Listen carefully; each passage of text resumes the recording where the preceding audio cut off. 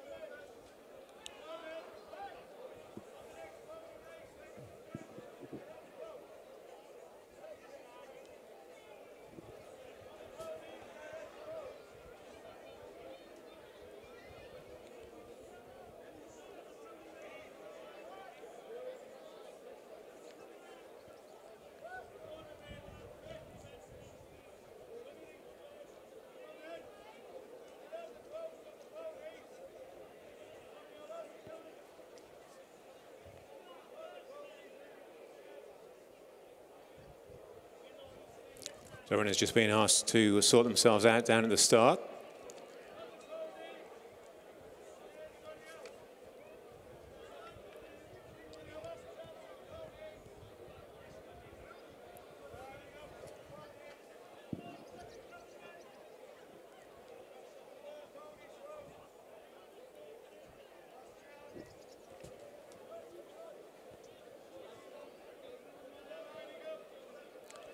The 11 runners this time, Whitewater's a non-runner and Belvitesse the reserve not running.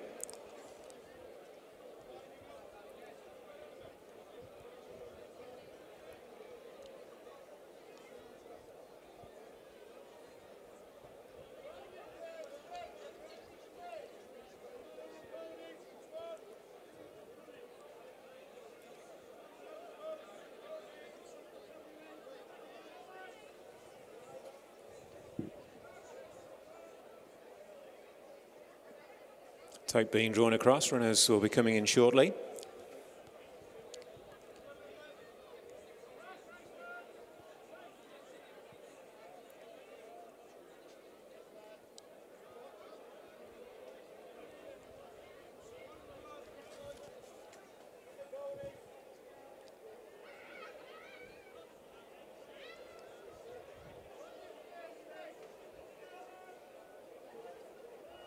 Wade in for race one. Wade in.